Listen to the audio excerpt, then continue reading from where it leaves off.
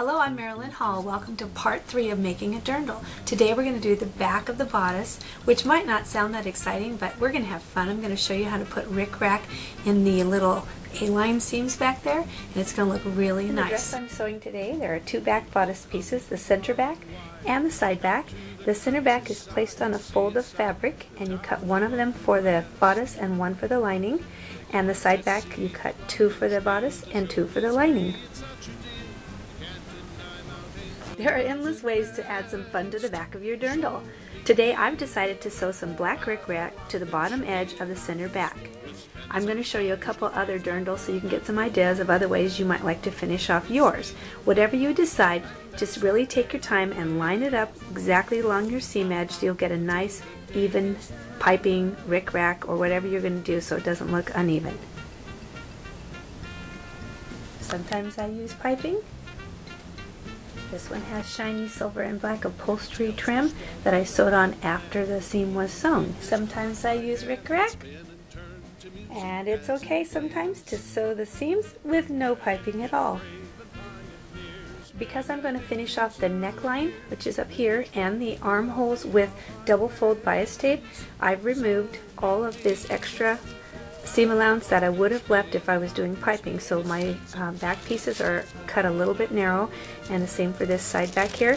This piece is removed. So if you're going to do piping, you want to leave this seam allowance on. If you're going to do double fold bias tape, you can cut yours a little more uh, narrow. This is the back, center back piece and I decided that it might be nice to uh, sew this rickrack along here and then I'll attach the side back pieces and it'll kind of mirror what's happening in the front. I think that'll be fun. I did a combination of taping and pinning um, this rickrack onto the lower seam edges of the center back and that works out pretty good as you go around the corner and I measured it to make sure that the center of the rickrack will always be a half inch because that's what my seam allowance is. Now that I've finished sewing the rickrack onto this lower edge I'm going to pin these side pieces on and, and this is something that you have to do really slowly and carefully to make sure everything matches up. So I'm going to do that now and it's always a little tricky. I'm going to start at the bottom here, pinning it, and the bottom here so that it all comes out even at the bottom. Okay, when I got to pinning this piece on, because it curves in opposite directions, it was really hard to round the corner so I went around and I went ahead and snipped into this a little bit uh, to help it to be more flexible. With that rickrack and the starch I put on the fabric, it's hard to make it lay down and go around this corner. So that really helped a little bit to, for the pinning. What it looked like after I finished sewing it. The other side that I had to kind of manage to go around the corner, um, it was really helpful that I did that little trimming. When you finish sewing your side back pieces to your center back, you must not skip this next step or your bodice will never lay down right. You need to take your scissors and snip the, the seam allowance like this all the way up to the stitching but don't go through the stitching and this will help it to lay down flat. If you don't do this you will regret it when you go to iron it and you wonder why it's not laying down. So it needs to look kind of like this and since I have the rickrack in there I've been kind of careful to snip between the little peaks of the rickrack.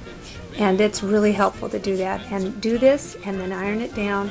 And I ironed mine towards the center middle like this so that the rickrack would lay down towards the outside.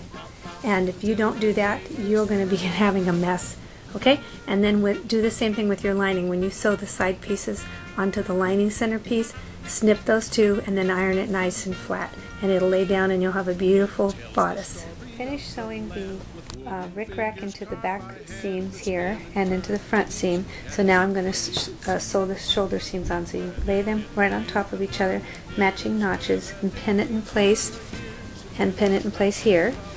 And while I'm at it, I also did the lining. Here's the lining. I did the exact same thing with the lining.